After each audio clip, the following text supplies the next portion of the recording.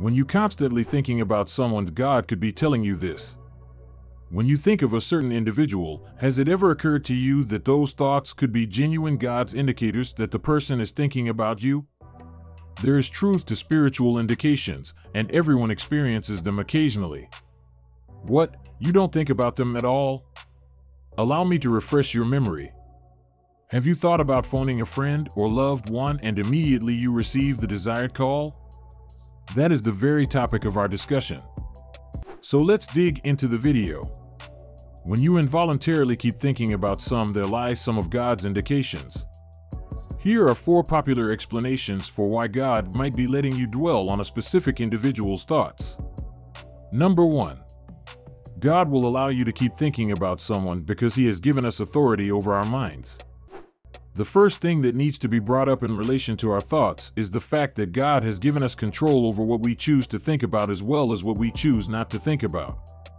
Therefore, there are instances when the meaning of the thoughts we have has nothing to do with whether they are positive or negative, rather, they simply indicate that we are allowing ourselves to think about something. Take note of the various commands that are given to us throughout the Bible with regard to our ideas. These commands demonstrate that God wants us to exercise self-discipline over our thinking. According to the verse in Colossians chapter 3, verse 2, set your minds on things that are above, not on things that are on earth. In addition, the New International Version of Romans chapter 13 verse 14 adds, Rather, clothing yourselves with the Lord Jesus Christ, and do not ponder about how to please the desires of the body. Therefore, the first conceivable reason God is letting you think about someone is that God permits you to think about whatever you want to think about. This means that God is enabling you to think about someone else. It's possible that the only sign of your thoughts on this individual is that you've made the conscious decision to think about them. Number 2.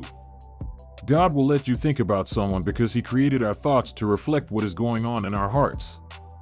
Even if the fact that we have control over our own thoughts is the place to begin this discussion, it is clear that this is not the conclusion of the topic at hand, which is why God may be permitting you to think about a certain person.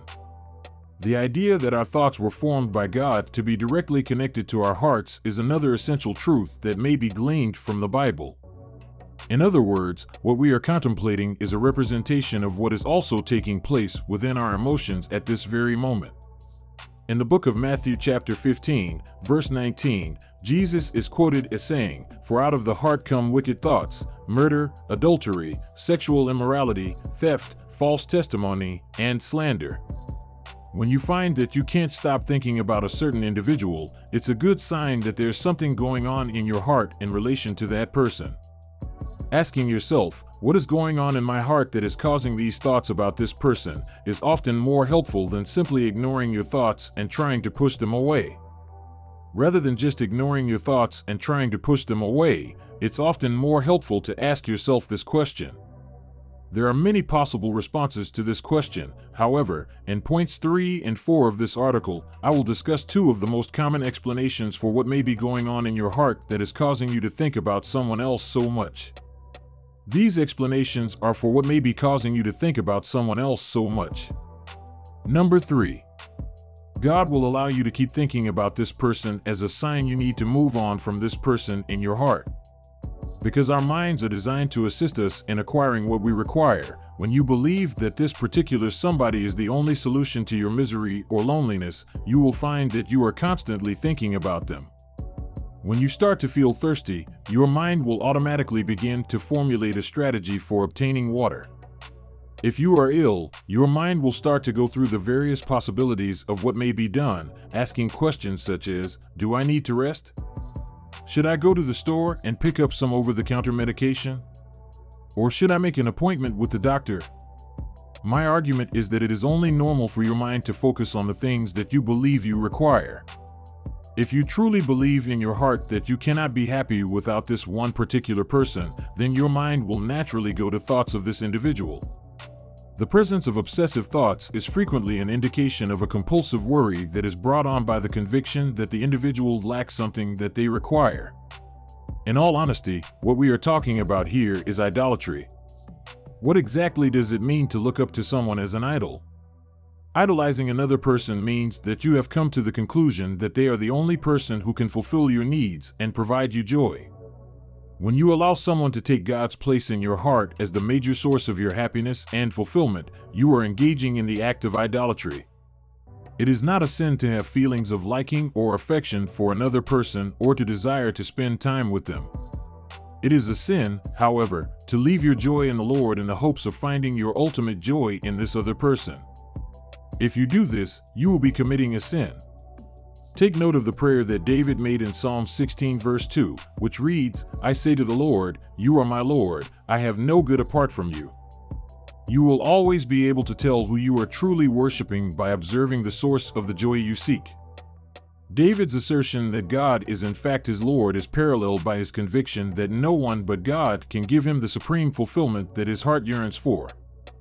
That you have an idol in your heart can be determined by whether or not you believe that anything other than God is the source of the nice things you want in this life. Number 4. God will allow you to keep thinking about this person as a sign you need to pursue a relationship with him or her. To circle back around to point 2, our thoughts are a direct reflection of what is going on in our hearts. Even while it is a chance that our thoughts about someone are suggesting that we have idealized this person in our hearts, this is not the only answer that is available by any stretch of the imagination. Thinking about another person is one of the most reliable indicators that you harbor a genuine longing in your heart for that person to be a part of your life in a romantic or sexual partnership of some kind. If you don't give someone any thought at all, then it's quite improbable that God wants you to be with that person. But when you do like someone a lot and you think they are a mature Christian who you would like to date or marry one day, this should cause you to think about this person more often. This is the kind of thinking that should lead to you dating or marrying this person. Do not automatically conclude that the negative things you are thinking about this individual are an indication that anything is wrong with your heart. Take into consideration what transpired when God created Eve for Adam. Because he had clearly been thinking quite a bit about her when he woke up from sleep, he had composed a poem specifically for her. It is written as follows in Genesis 2 verses 21 to 23. Therefore the Lord God caused the man to fall into a deep slumber, and while he was sleeping, the Lord took one of the man's ribs, and while he was sleeping, he filled the spot where the rib had been with flesh. And the rib that the Lord God had removed from the man, he turned into a woman and brought to the man in order to complete his creation. After that, the male voice may be heard saying, This, at last, is bone of my bones and flesh of my flesh. She shall be called woman since she was taken out of man.